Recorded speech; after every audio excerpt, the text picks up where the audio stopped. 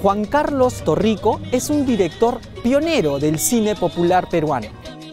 Con casi 40 años de actividad, ha trabajado al lado de personajes tan importantes para la cinematografía peruana como el cineasta Armando Robles Godoy. Sus cintas representan un registro fílmico invaluable del Perú popular de la década de los 80, con su música, sus colores y la idiosincrasia de su gente en medio de un contexto de crisis social. A punto de reestrenar a nivel nacional el éxito de taquilla El Rey, un largometraje de 1987, protagonizada por Julio Marcone, Carlos Criado, junto al recordado músico Vico y su grupo Caricia. Juan Carlos Torrico conversa hoy con nosotros en Entre Cámaras. ¿Y tú a dónde vas tan riquísimo? Al chichódromo y toca Vico, que no sabía.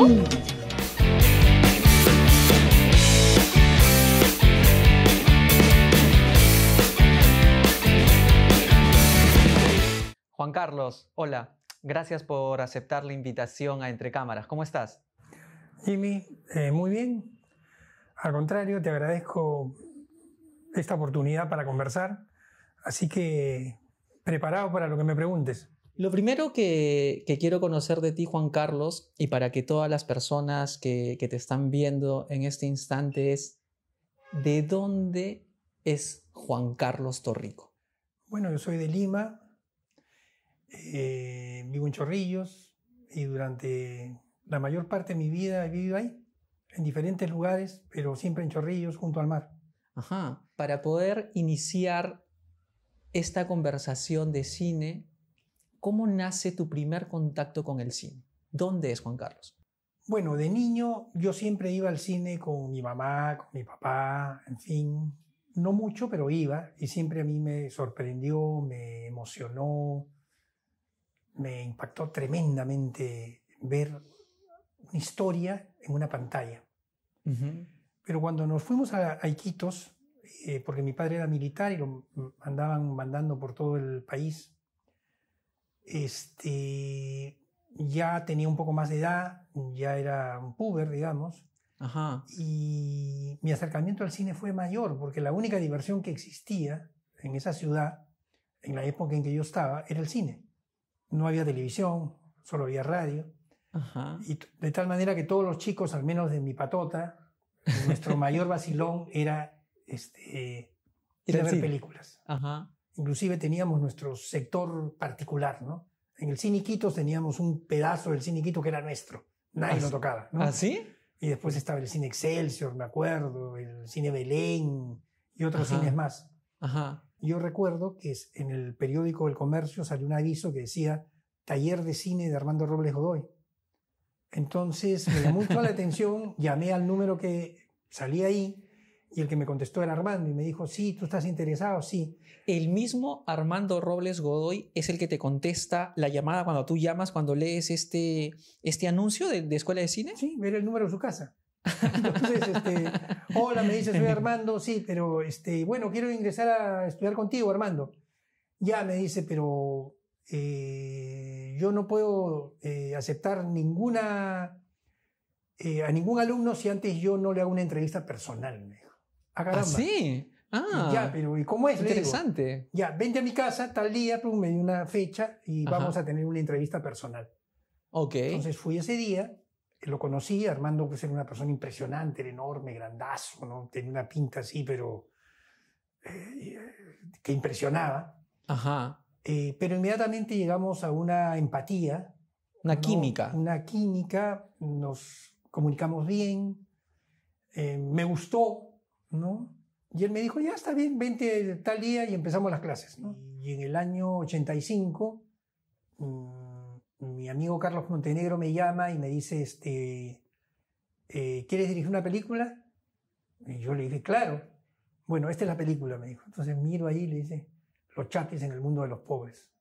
El título me pareció buenazo, ¿no? Claro, Y a claro. mí no me interesó sobre lo que era, a mí me interesó que iba a dirigir una Iba- película. ibas a dirigir una película, No. claro. Entonces, claro, claro. a partir de ese momento me conecté con, con la historia, con, con el, con el proyecto, porque no había historia todavía, este, y empezamos a caminar. Ya. Y la idea era hacer pues una biografía de los Chapis, cómo los Chapis salieron de su chupaca De su chupaca, ¿no? ¿no? este, original, Claro. fueron a, llegaron a Huancayo, tuvieron un éxito, de ahí hicieron el salto a Lima El salto a Lima, claro. y tuvieron éxito en Lima. Entonces, este, un poco que eh, eh, estructuramos la, la- la historia y eh, contratamos a una persona que lo escribiera, Ajá. ¿no? que fue un amigo mío, es decir, que esa película que él tenía planeada se hiciera realidad y fuera exhibida en los cines con éxito. Cosa que sucedió, ¿no? La película tuvo un éxito increíble y por primera vez se asistió a una eh, realidad nueva, que era esa eh, eh, irrupción del, del, del desborde popular, ¿no? Ir a los cines eh, era una experiencia diferente, porque la gente iba con todas sus familias, Claro, claro. iba con sus canastas, con su comida, con todos, era una experiencia diferente, una experiencia loca, así. Claro. ¿Por qué? Porque era como que, como que la gente que había salido de, de- de los sectores populares, Populares, llegaba, claro. invadía los cines Cines, y la claro. invadía con sus propias costumbres, Claro. lo cual realmente me parece fabuloso porque fue una fiesta, una celebración popular. Carlos Criado y Julio Marcone, yo los veo en papeles muy pequeños en los Chapis.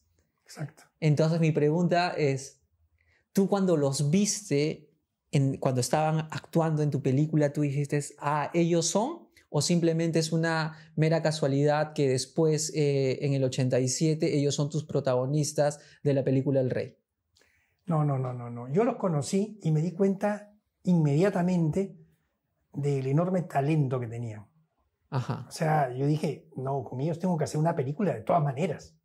Claro. todas maneras. Claro, claro. No claro, puedo desperdiciar este talento. Claro. Entonces, cuando yo inicio el proyecto de la película El Rey, Ajá. inicio escribiendo el guion, eh, en el guion incluyo a estos dos personajes pensando que uno lo iba a hacer Carlos Criado y el otro lo iba a hacer Julio Marcone. Claro. Ya desde antes Desde ya lo sabía, ¿no? Ah, ok, ok. Porque Carlos tiene una escena en Los Chapis que está en la cárcel que es, que es genial. O sea, yo lo, yo lo vi y dije, wow. Y Julio Marcone hace de el sonidista en Los Chapis, el que tiene que grabar el disco Así de Los. Chapis, donde tú eras el, el productor. Y llega medio borracho y se hace una escena del que no quiere grabar y muy, muy, muy graciosa. Sí, buenísima, buenísima.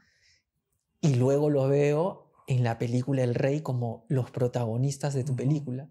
¿Tú piensas, cuando vas a escribir en guion, muchas veces quiénes van a interpretar tus personajes o cómo es la creación de tus personajes cuando escribes un guion? En el caso del Rey, sí yo pensé que ellos deberían ser los protagonistas. Ajá. Entonces, lo escribí también pensando en que ellos lo iban, iban a participar. Vamos a entrar de lleno a, a tu película El Rey, que, que lo filmaste en 1986, se estrena en 1987. Tuve la oportunidad de, de poder verla en el Festival del Cine de la Católica. Y es una película que vas a reestrenar el 24 de noviembre. Así es. Cuéntame del Rey. ¿Qué me puedes decir del Rey? Yo había terminado de hacer eh, Los Chapis en el mundo de los pobres Ajá. y yo dije, yo quiero seguir en esta línea de cine popular. A mí me interesa hacer cine popular. Ok. Entonces lo que hice fue, este, me presté un dinero del banco, del Banco Industrial, me acuerdo, y me arriesgué a hacer una película. Esta película, eh, como ya te había contado en Los Chapis, yo Ajá. tenía visto a Julio Marcone y a Carlos Criado. Así es, es, es- Entonces la pensé en tener a mis dos personajes protagónicos en ellos, junto con Vico. Porque en ese momento el mundo de la chicha en Perú eh, tenía era un triángulo, Ajá. fundamentalmente. Por un lado estaban los Chapis, por otro lado estaba eh, Vico y su grupo Caricia, y por otro lado estaba Chacalón y la Nueva Crema. Chacalón y la ¿No? nueva crema. Claro. Entonces mi, mi- mi idea era de alguna manera poder hacer películas con los tres. ¿Ya? Pero yo prefería hacerla con Vico. Con Vico, ok. Y, este, y encontré en Vico una, una personalidad maravillosa, una persona abierta, eh, comprometida, eh, muy educado, muy afectuoso. Eh, la verdad que encontré un amigo eh, extraordinario en Vico. ¿Qué es lo que va a ver la gente de tu película? Mira, lo que va a ver es el mundo en ebullición. Ajá. el mundo en movimiento, el mundo en eclosión en esos años en Lima, Perú, en el Perú en general. Eran años, como se dice, de desborde popular, ¿no? Claro. claro. Eran años de, de- de gran movimiento y de grandes ilusiones. Y años en donde los emprendedores, pequeños, pequeñitos, chiquitos, grandi- grandecitos, empezaron a moverse porque si no lo hacían, se morían de hambre. Claro. Entonces, la historia de la película es la historia de, de- de un par de estos emprendedores, que son casualmente estos muchachos, que no tienen ni oficio ni beneficio. Y comienzan dentro de la película a buscar diferentes oficios, a ver dónde, dónde encuentran ese punto donde puedan quedarse, ¿no? Porque, porque hacen de payasos, cómicos ambulantes, Exacto. hacen de panadero, hacen varios oficios. Es ¿no la cierto? historia de cómo tienen que verdaderamente buscárselas con lo que sea. Ajá. Y bueno, pasan por toda una serie de aventuras hasta que por fin encuentran una de esas actividades en que pueden realmente hacer negocios y lo hacen por razones equivocadas. Le dice la jovencita, le dicen a los señores, le dice la caserita, le dice a los picanos, a Clarita, a Clarita, a Lindita. Entonces, a, par- a partir de ahí ya Claro. empieza a, a- a resolverse la historia, Claro, ¿no? claro. pero toda siempre acompañada por, por- por- por, eh, la música de Vico, porque el chichódromo, el lugar este de baile de De la baile. chicha, Sí. es una especie de, de- de- de parada obligatoria a lo largo de la historia. Sí. Entonces vamos, vamos avanzando a lo largo de la historia y a lo largo de la historia vamos yendo siempre al chichódromo, donde vamos a escuchar nuevas, nuevas canciones de Vico y, y- y ahí van a ocurrir este, determinados, eh, determinadas peripecias de la historia. ¿no? Ya son las doce y hoy es mi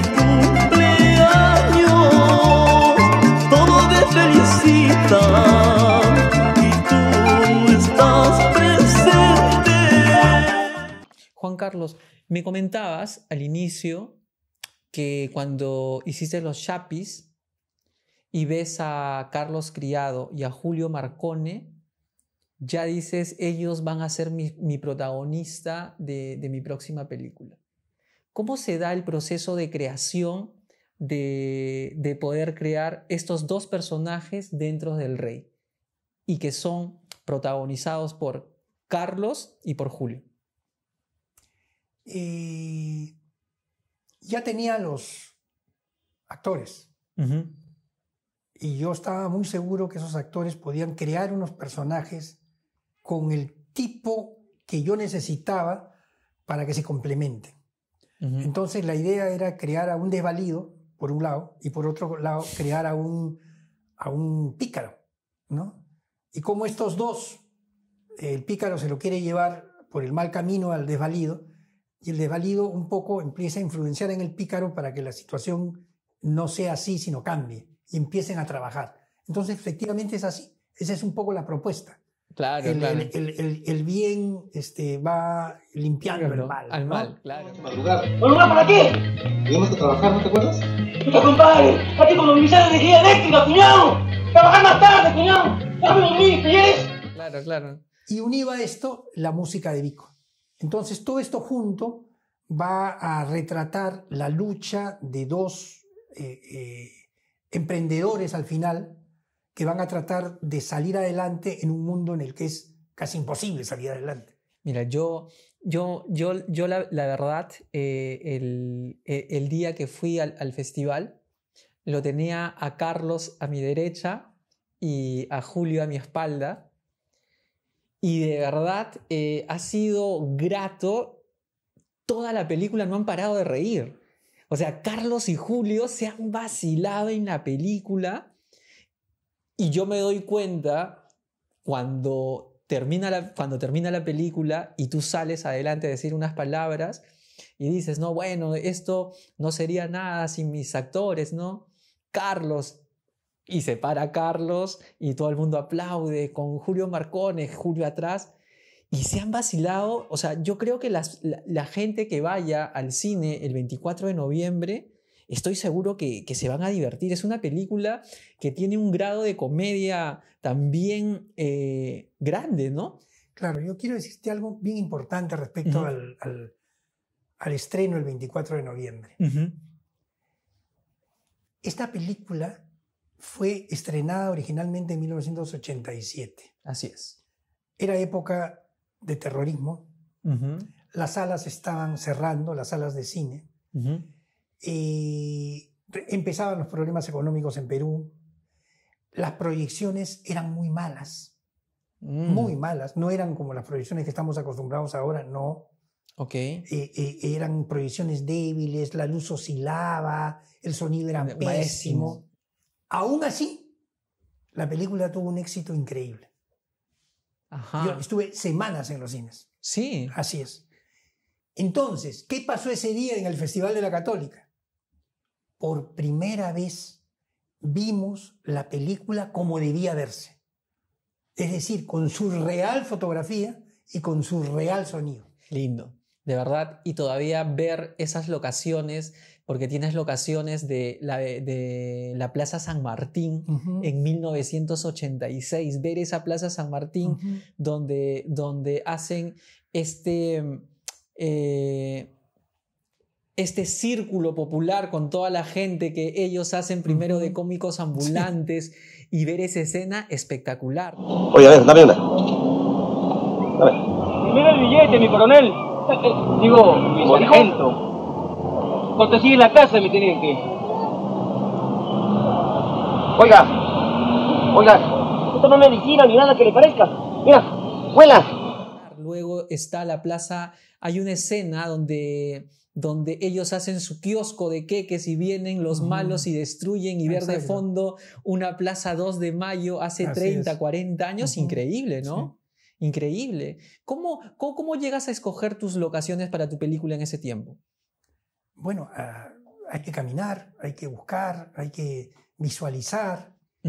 Y encontré que esos eran los lugares obligatorios para que suceda la película. Ajá. Y ajá. efectivamente me parece que fueron los lugares este, bien escogidos y logramos este, tener una película intensa y, y que de alguna manera responda a un momento de la realidad histórica del Perú. La película eh, se va a intercalar, se intercala historia, fiesta, historia, fiesta, fiesta. historia, fiesta, historia, fiesta. De tal manera que tenemos eh, seis canciones de, Casi completa. de Vico en, en la película. Claro. Es una eh, película con mucho ritmo musical y el- el- la chicha de Vico es una chicha muy depurada. En la soledad se encuentra un muchacho triste y lloroso por su amor.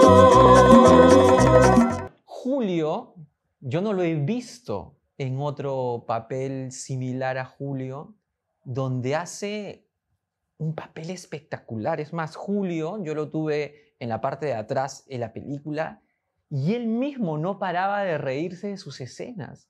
Porque era una...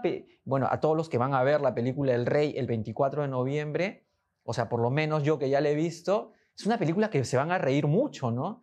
¿Cómo así nace la creación de, de Pepe? Porque es un chico, no sé, muy, muy popular, con, con- con muchos matices. Cuéntame un poco de ese personaje, por favor. ¿Qué es lo que van a ver los espectadores del personaje de Pepe?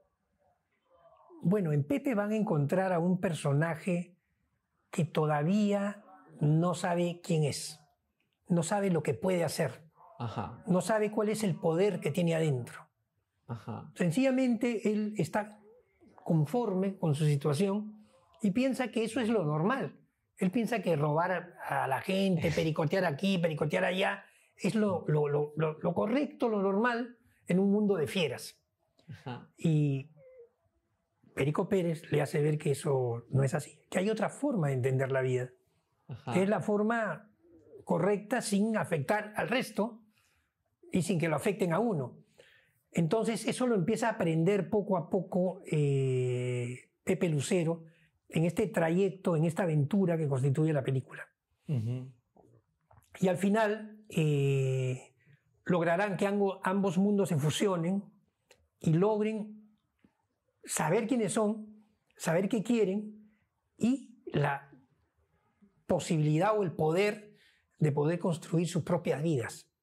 Eso es lo más, lo más importante de todo. Sí, podemos construir nuestras propias vidas, pero si nos metemos a la piscina, si nos lanzamos con todo, eso de construir nuestras propias vidas mirando a ver cómo los otros hacen, eso no, no es así.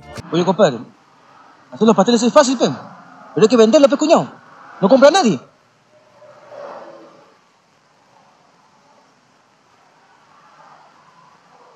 ¿Qué pasa? Si acá nadie compra, hay que ir a buscar a los clientes. Vamos. Es la última, compadre. Ya me cansé, ¿eh? Vamos. Claro, claro. Pero también hay parte de mucha, no sé, en estos tiempos le podríamos decir de mucha palomillada.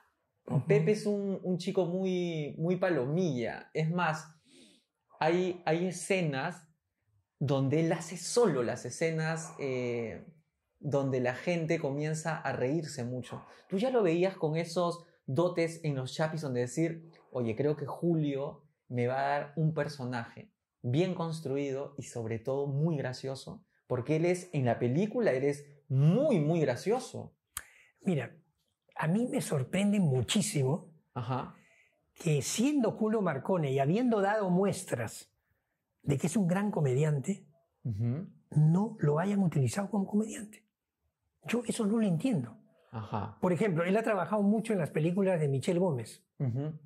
Ha trabajado de malo, ha trabajado de abusador, ha trabajado de maleante, ha De trabajado gay. de malo, malo, Malo, malo. ha trabajado de homosexual De inclusive. homosexual, sí, ¿no? claro, de gay, famoso, un personaje. Pero yo nunca lo he visto en, en una característica eh, eh, eh, de personaje pícaro, criollo y gracioso. Sí, claro. No. Esa es la palabra. Y sí. ese es su fuerte. Ese es su fuerte. ¿Y él quién es? Perico Pérez, pues, mi pata. ¿Y tú a dónde vas tan riquísima? Al chichódromo y toca bico, que Ah, no sí, sabía. sí. Lo que pasa es que recién venimos del trabajo. Es que le gusta arreglar la casa, ¿no? Plancha, borda, cose. Encima repostería. Claro, porque yo cuando lo vi en, eh, en el Festival de la Católica y vi su personaje, y era como que a todos lo conocemos a Julio Marcone, justamente como lo que, lo que acabas de describir, ¿no? El- lo- sobre todo los de mi generación, ¿no? Un personaje de malo, de fuerte, pero nunca un, pers- un, un personaje que, que pueda ro- eh, risas, o sea, o, o como comediante, comediante, ¿no? Es eh, increíble. Yo, eso son cosas que no entiendo.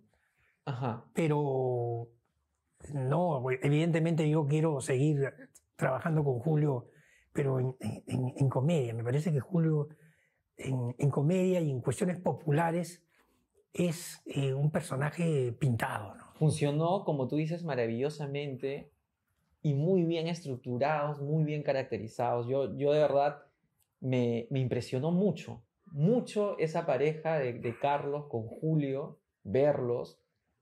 Yo me he reído mucho en la película, los he tenido a mi lado, lo, lo tuve a Carlos criado a mi lado y Carlos se reía. Y hablando justamente de Carlos, que era el personaje más tranquilo, el educado, el que, le el que en- entre comillas, le va a enseñar ciertos valores a, a- Julio, que existe en la película también la, la- dosis de amor. Y es que el personaje que hace Carlos Criado se enamora de, en una toma que tú pones espectacular y popular de Bélgica Rodas, que lo, por primera vez que se le ve a Bélgica es en un techo, bailando, bailando chicha y extendiendo su ropa. ¿Cómo, cómo, cómo nace el, el personaje de, de Bélgica Rodas y que sea ella la que, la que haga el personaje? Claro, lo que pasa es que había que ser coherente ¿no? con el mundo que nosotros estábamos eh, creando. Ajá. eh, no era, a mi modo de ver, eh, justificable que yo para el personaje de Dora escogiera pues, a una actriz miraflorina, ¿no? O a una eh, blanquita o a una rubiecita. Quizá para otra película, pero para esta película no. Para esta película necesitamos a alguien popular. Y Bélgica Rodas era una vedette, eh, digamos, dura, ¿no? Este, una vedette este, dura en el sentido del, del término eh, eh, que no había, no había que, que nada que no pudiera hacer. ¿no? Ajá, Ella ajá. estaba en los principales lugares de vedettes y en, y en las fiestas populares, en fin, tenía calle. Tenía calle. ¿no? Y tú la ves, es efectivamente un tipo popular 100%. Se encuentra un muchacho triste. A mí sí me pareció muy interesante dentro de la película. Es esta escena de, de la pelea, ¿no? Entre el bueno y el malo, que es una pelea larga. O sea, es una, peli- es una pelea muy larga, cinematográficamente es larga, y me hizo recordar mucho a, a estas películas de acción o de artes marciales de los 80 y de los 90. Cuéntame, tú veías mucho cine chino, japonés de esos tiempos y te inspiraste un poco en estas, en estas coreografías de, de este tipo de películas o cómo nace hacer una escena tan larga de una pelea. Mira, yo eh, he sido muy cinéfilo. Ajá. Siempre me ha gustado ver mucho cine. Eh, inclusive era uno de esos que religiosamente iba a la cinemateca acá en el Museo de Arte, donde había el auditorio, todos los días, ¿no? Porque todos los días había programaciones de películas nuevas.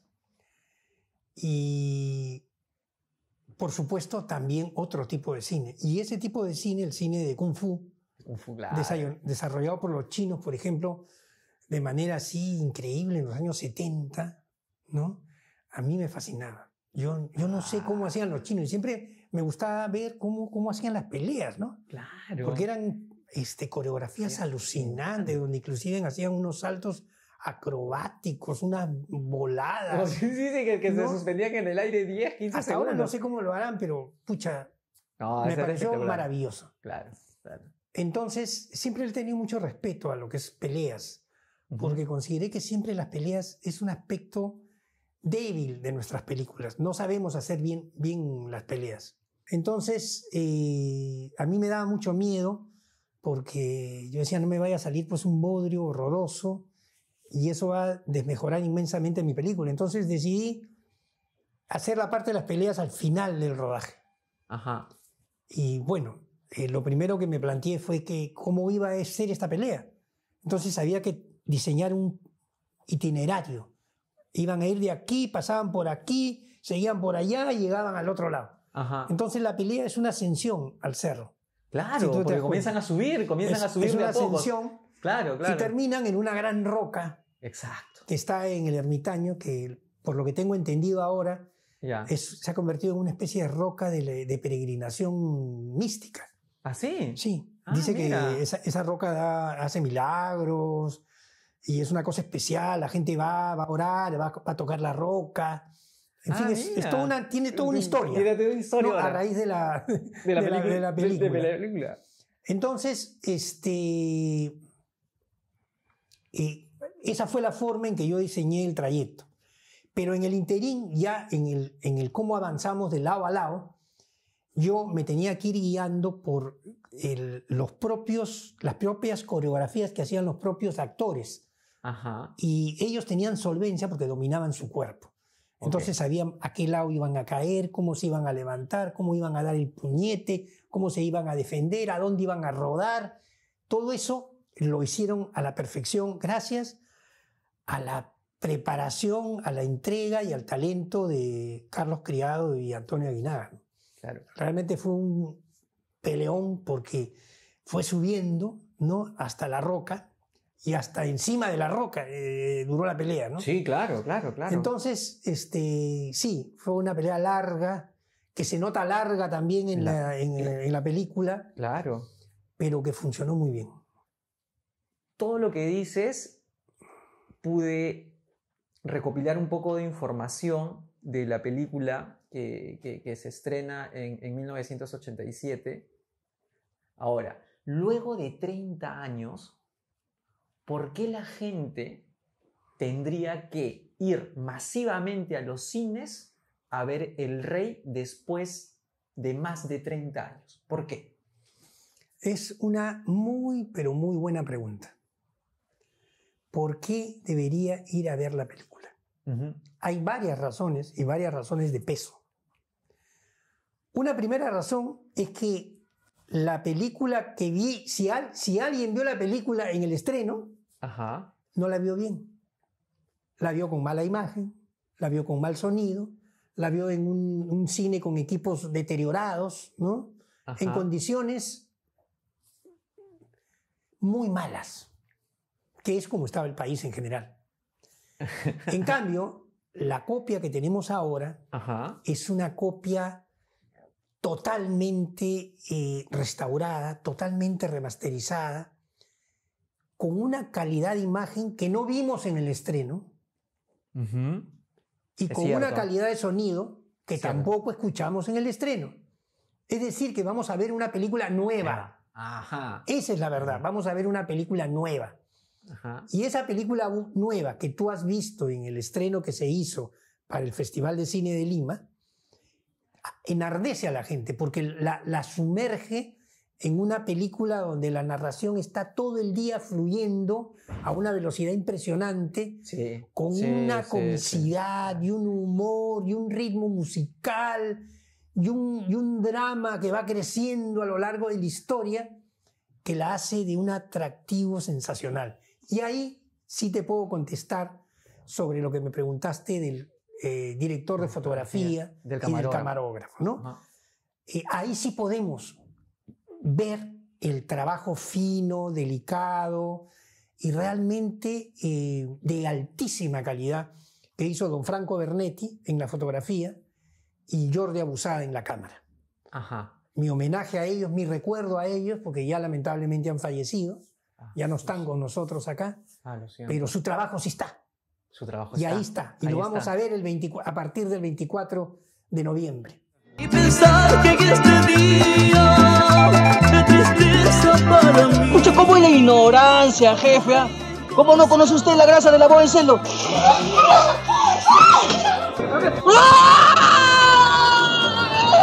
¡Habla, huevón! Un día te lo vas a hacer conmigo. Donde quieras y como quieras, Viquito. Te acordarás de mí. ¿no? Sí. Y la otra razón poderosa es el equívoco que hay cuando uno ve películas. Ajá. Eh, y ese equívoco es sencilla- sencillamente el siguiente. Tú cuando eh, escuchas una sinfonía de Beethoven o una obra de Chopin, ¿no? o una canción criolla o una eh, cumbia, si quieres, o una canción de Vico, tú no la dejas escuchar, tú no la dejas de escuchar porque ya la escuchaste. Claro. Eso es, una, es un absurdo. Eso es una, una, una falta absoluta de criterio eh, cultural. Es decir, oye, este, eh, ¿escuchaste la novena sinfonía de Beethoven? No, ya, ya la escuché, ya. Ya la escuché, como si fuera importante verla una sola, eh, escucharla una sola, vez. claro. No, No, claro. Una sinfonía la escuchas una vez, la escuchas cinco veces, la escuchas 400 Muchas veces, veces. y siempre la vas a escuchar de manera distinta. Te da otra sensación. Y siempre vas a escuchar algo nuevo. Tal cual. Lo mismo pasa con las películas. Tal cual. Eso de que ya vi la película, ¿qué, qué quiere decir? ¿Es un chiste o qué? Claro, ¿Ya viste la película? ¿Ya la viste? Vuelve a ver, vuelve a verla. claro. claro. Es así. Entonces la ves y recuerdas todo y la ves desde un punto de vista nuevo. Ves otra película realmente. Sí. Esa es la forma de ver el cine, por un lado. Y por otro lado, ya es necesario que nuevas generaciones que no vieron la película en su estreno la puedan ver. Exacto. Porque era el momento de sus padres, era el momento de sus abuelos. Totalmente. Pero no es el momento de ahora. Entonces, para ellos, sí es una película nueva. Claro. ¿Te das cuenta? Claro, sí. Entonces, eso es parte del bagaje cultural de la nación. Por eso es que un grupo de cineastas, en general todos los cineastas, piden la creación de una cinemateca nacional. porque la preservación de nuestro patrimonio audiovisual no es un capricho de, de cineastas, no, es una necesidad nacional. Es cierto. Las películas necesitan ser preservadas, restauradas, guardadas para las nuevas generaciones. Porque esas nuevas generaciones tienen que conocer cómo se vivía antes, cómo era la sociedad antes, cómo eran los problemas antes. Y el cine te lo enseña de una manera vívida y directa. Así que nada, solamente felicitarte, eh, agradecerte nuevamente por estar aquí.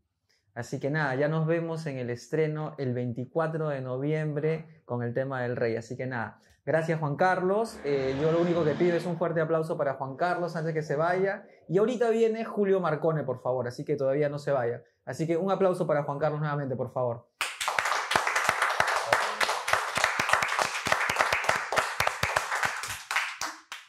Escucha, ¿cómo es la ignorancia, jefe? ah? ¿Cómo no conoce usted la grasa de la boa en celo y el pico molido del papagayo rojo?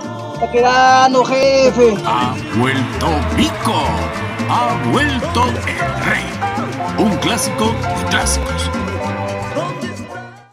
Julio, la, in- la invitación es para hablar de la película El Rey que se estrena el 24 de noviembre en todos los Se reestrena, ¿no? Sí, reestrena. Mm. Tienes razón. Se estrenó en 1987 y luego de un poco más de 30 años Sí. se vuelve a estrenar el 24 de noviembre. Lo primero que te quiero preguntar es, ¿cómo se da tu paso para el casting en el tema de la película El Rey? ¿Cómo llegas al Rey? Ya, este.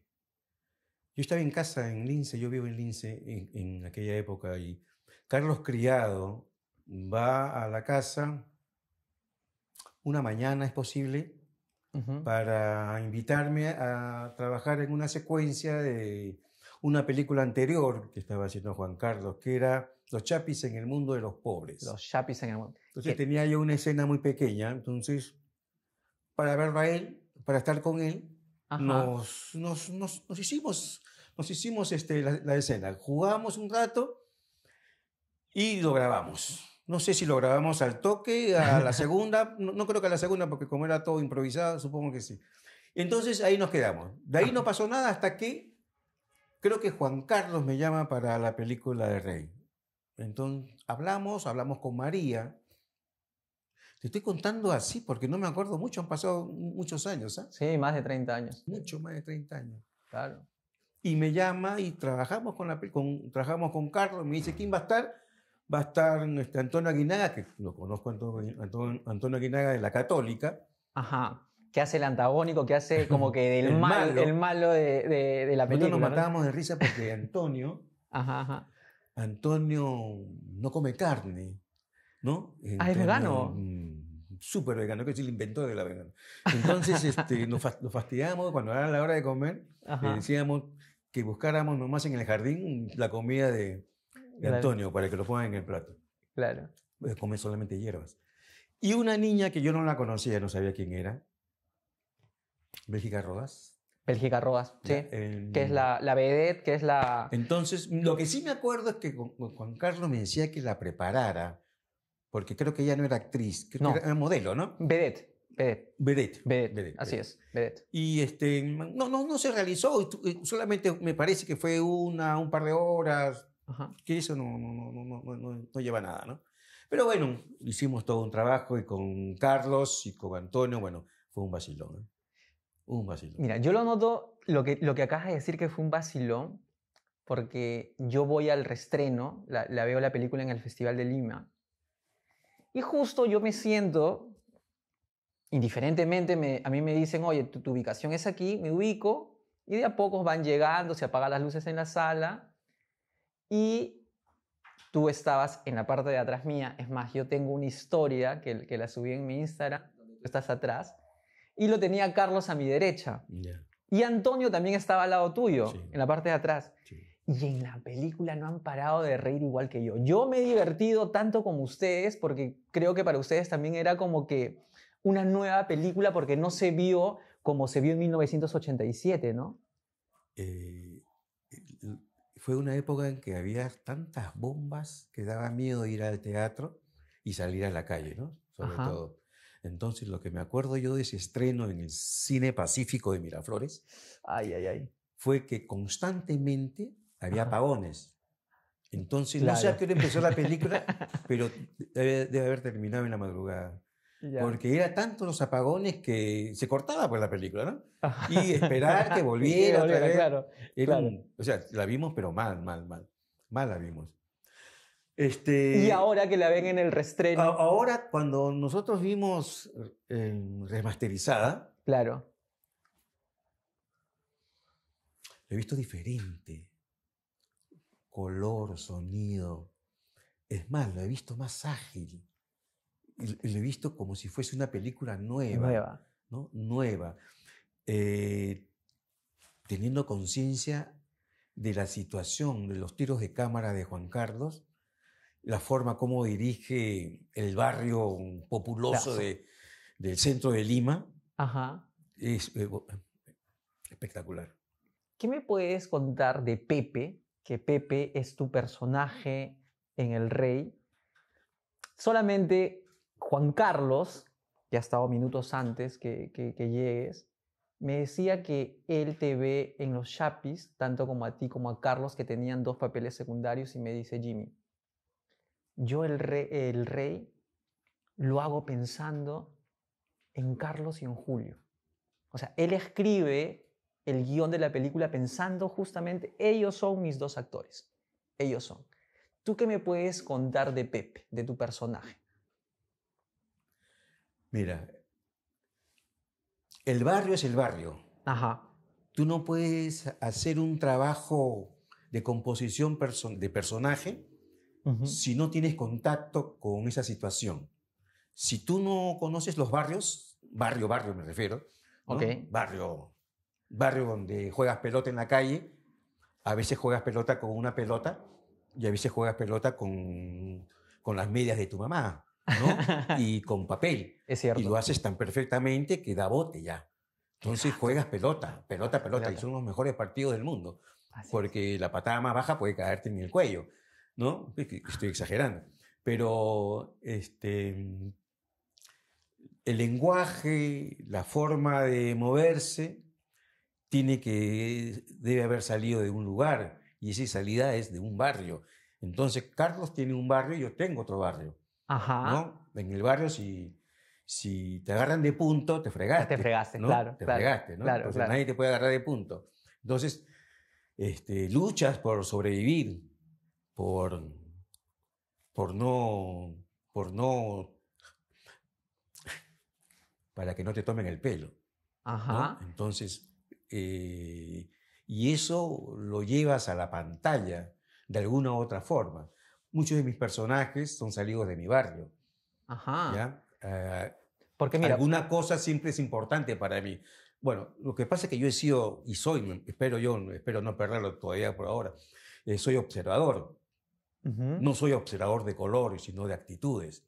Ah, ¿ya? qué interesante. Entonces, hay varios tipos de observaciones. claro que sí. Entonces, en los barrios, y hay una gama de personajes. y tú me decías, eh, antes de empezar la entrevista, que tú eras del centro de Lima. Que Soy por, del por- centro de Lima, que, que tú vivías eh, por, el, por, por las Nazarenas, ¿no? Soy de San Entonces, Sebastián. Ay, ay, ay. Entonces, ese barrio es muy simpático, lindo. Entonces, que es el barrio más coloquial. Estamos frente a la avenida Tacna, Claro. que te lleva a Santa Rosa. Claro. Y para el otro lado está las Nazarenas. Y Pepe en el personaje, en, el, en la película, es un personaje muy pícaro. Ese como que eh, tiene mucho barrio, tiene mucho barrio y tiene ciertas actitudes, gestos que me imagino que ya son parte de lo que tú le pones como, como actor a tu personaje. ¿Cómo fue la construcción de Pepe? Por eso, Ajá. Eh, cuando te dan la idea de cuál es tu personaje, este, al actor in- in- inmediatamente se va transformando y va cambiando la actitud. Parece mentira. Si tú le das un guion a, tu, a un actor, siéntalo a tu lado y Ajá. le dices, oye, este es el personaje que te estoy dando. Chequéalo un ratito, míralo. No leas tu, tu, tu papel, míralo a él. Vas a ver cómo va cambiando él. Si es que le interesa, por supuesto, ¿no? Obvio, Si es que le también, si no le interesa, te hace un gesto de que. mm, Mm, pero míralo a él. Entonces, Ok. dejará de sentarse con las piernas cruzadas y cambia de actitud. Dejará sus manos este, y cambia de actitud. Automáticamente porque no lo sentimos, no nos damos cuenta. Y si es que nos va gustando, y, y si nos va gustando, vamos entrando en ese campo, en esa magia. Porque también ahí también hay magia, en ese guion. Claro. ¿no? ahí claro, también hay claro, magia. Y ahí entramos. Y nos imaginamos. ¿Cómo va a ser? Y nos imaginamos cómo sería. Ajá. Y ya estamos imaginándonos qué, qué cosa vamos a usar. Y es más, imaginamos a los amigos. Si es en el caso mío. Claro. En el caso mío, yo me he imaginado la gama de amigos que tengo. Así. Ah, ok. Y lo presentas. Así y lo. Eso es lo que me ha pasado a mí con los personajes que he hecho. Cuando hice de peluquero, La muchas de- personas estaban en mi lista. Me fui a una peluquería donde mi esposa se, se cortaba el cabello y, Y, y- y lo hacía quien que me una costó, me costó reconocer que, el- que la chica que le cortaba el pelo a mi esposa Frida Ajá. era un hombre. Lo hacía muy bien, lo hacía muy bien, no era, era mujer, pero decía algo le- y era hombre.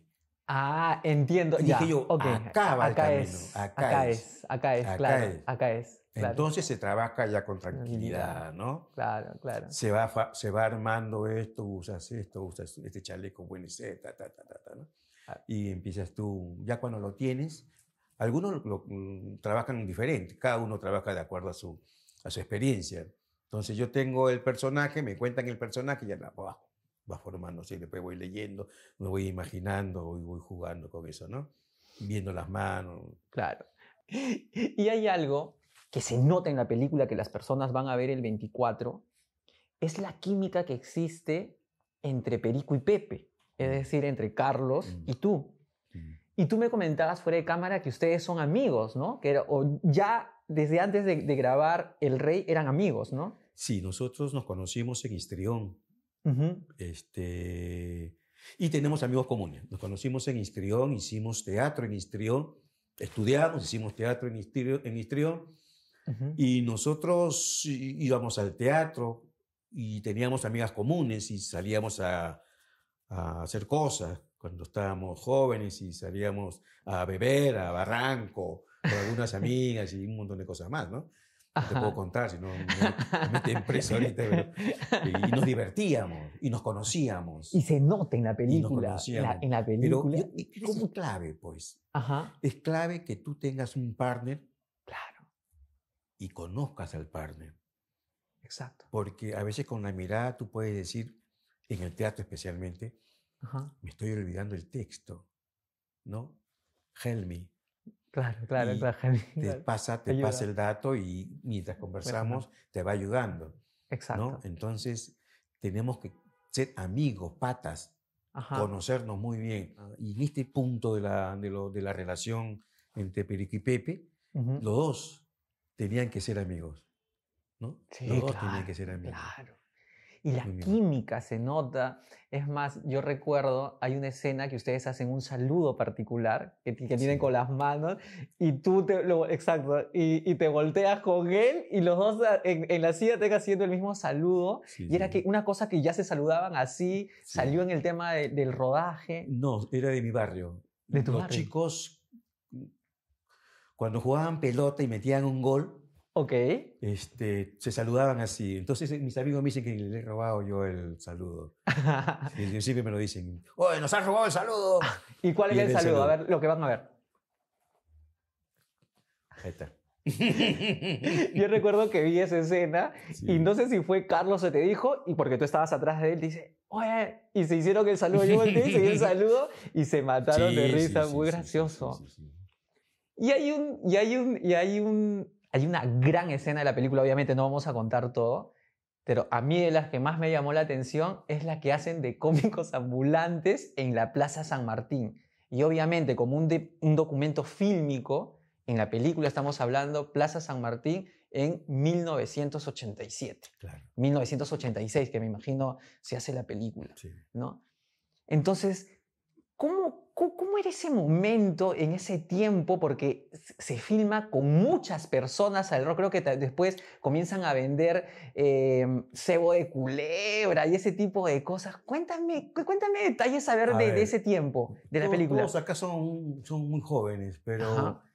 en la década de los 70 la Plaza San Martín Ajá. se llenaba de actores. Ajá. Hacían show, este, mimos y, y actores que hablaban y cantaban y la gente rodeaba. Actualmente también con los cómicos ambulantes, ¿no? Claro, claro. Y la gente rodeaba y pasabas el sombrero. Y, Claro, claro. y la gente se iba si no quería dar la plata y todas esas cosas, ¿no? Y vendían de todo. La gente tenían un floro para vender Claro. cualquier cosa y te podías comprar cualquier cosa solo por el floro del tipo, porque hablaba muy bien, ¿no? Te vendía, te vendía muy bien. Todo ese diálogo, todo, todo, todo ese texto era una improvisación tuya, Julio. Sí, claro. ¿Sí? Que lo hicimos en prima, la primera. Ah, No, no- no podíamos, pues, este, hacer segunda toma. Metes en Juego de Tronos. ¿no?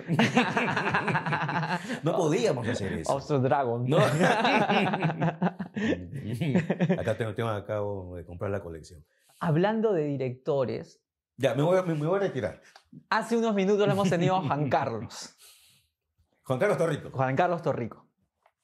¿Qué tal la experiencia? Ya lo habías tenido en los Chapis anteriormente, en, este, En esa pequeña, en- en que esa pequeña ni me acordaba de él.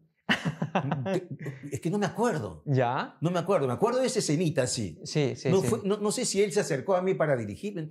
Ya. No me acuerdo de eso. Ok, Estuve con Augusto Varillas, ok. un actor también de peso, ¿no?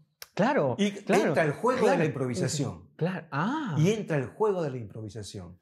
Cuando Ah. nosotros grabamos, ahí sí me parece que lo hicimos en dos tomas. Ok. Creo Ajá. recordar que lo hicimos en dos tomas. Ajá.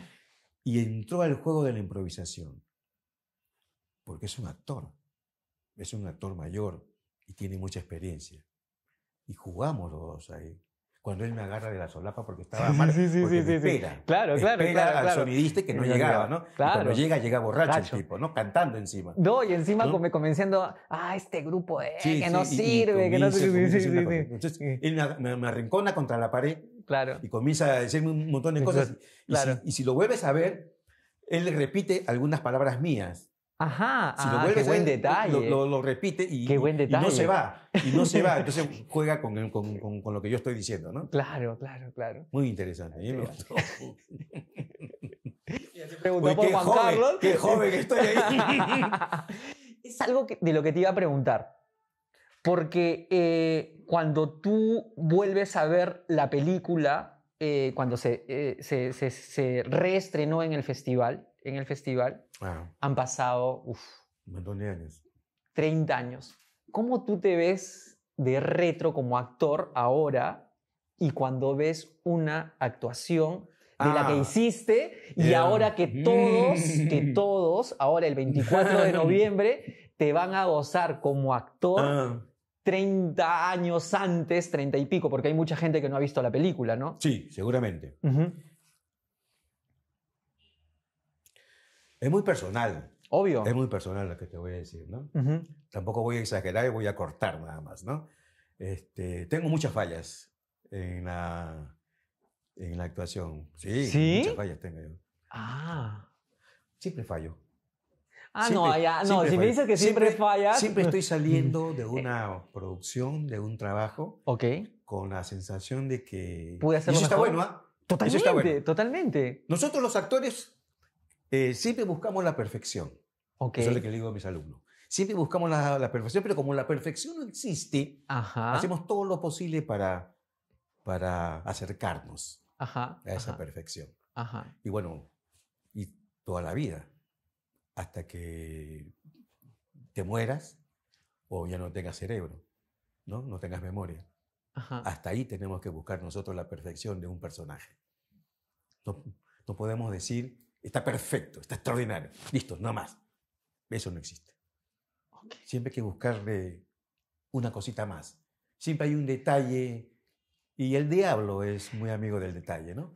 Entonces, Claro, le claro, buscamos una cosilla. Es posible el pelo, es posible algo más, o el texto que no lo, no lo dije bien.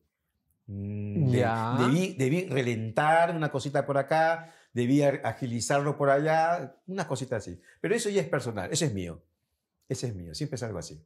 Mira, yo creo, yo he visto la película, Ya no lo veas otra los vez. to- a todas las personas que van a ver la película El Rey, estoy seguro que la actuación del señor Julio Marcone es espectacular.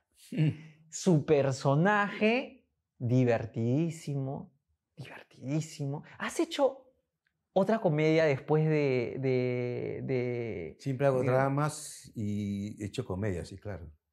Sí. Sí. En televisión, pero, con- en, pero en telenovelas. En la película tiene mucha comedia, Sí. tiene inclusive parte de drama, Sí. porque hay una, hay una violación. Sí. Pero lo que la gente también va a ver es que va a poder inclusive, no sé si cantar o bailar, porque está Vico y su grupo Caricia, donde hay escenas largas de canciones casi Sí, completas. Casi completas, ¿no? Casi completas. Sí, sí. Sí. Sí, Yo me di cuenta ese día que estuvimos. No me acordaba de eso, ¿no? Y canciones simpaticísimas, buenísimas, ¿no? Sí. Buenísimas las canciones, ¿no? Sí, muy Seamos o bueno. no fanáticos de la, de la música chicha, ¿no? O de la música de los Andes, Andes. eh, combinado Claro. con, con- con la cumbia.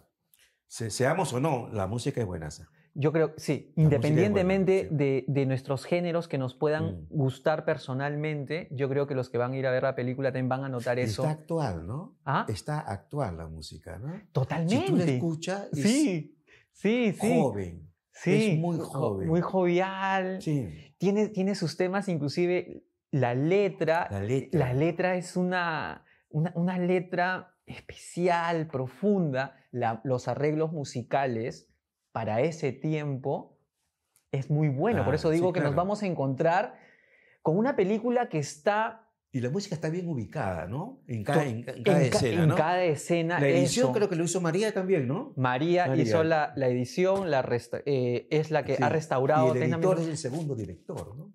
El, el editor, editor. es el segundo Es el que editor. te puede matar una película. También. O te puede subir Bien, la película. ¿no? Sí.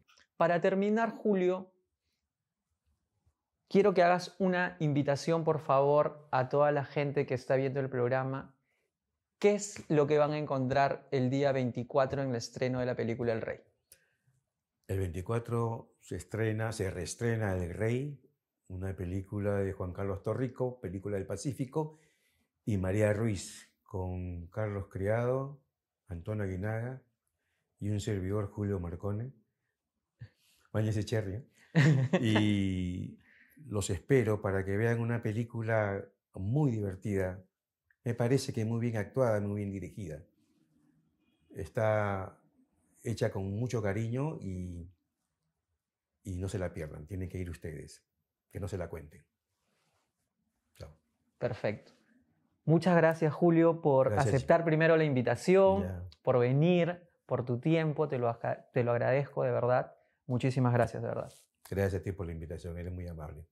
Ok. A, ti, a ti y a tu grupo, muchas gracias. Justamente, para el grupo, por favor, que termine con un fuerte aplauso, por favor, para poder despedir a Julio Marcone, por favor. ¡Aplausos! ¡Bravo! Gracias, muy amable. Somos 60 personas. Gracias, Julio, lo máximo. El más grande ha vuelto. Ha vuelto Vico.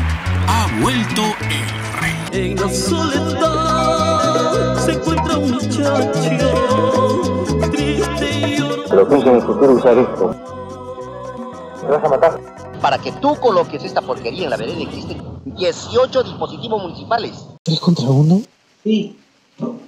Más conocido como cuadrada. ¿Dónde está la merca? ¿Cuál mercado? La bolsa con la merca. Y pensar que en este día Escucha, ¿cómo es la ignorancia, jefe? ah? ¿Cómo no conoce usted la grasa de la boa en celo?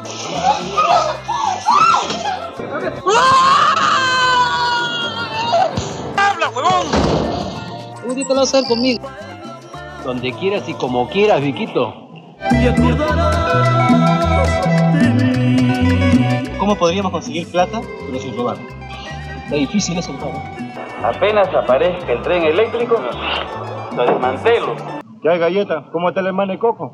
Ahí. Para con Aquilino. Pero a ti te va bien. La gente te quiere. Sí, pero son muchos años de sacrificio. Soy más salado que calzoncillo de pescador, compadre. Nos cagaron con las hembritas. ¿La voz de mi papá? No puede ser. ¿Ah? ¿Qué papá? Todo me felicita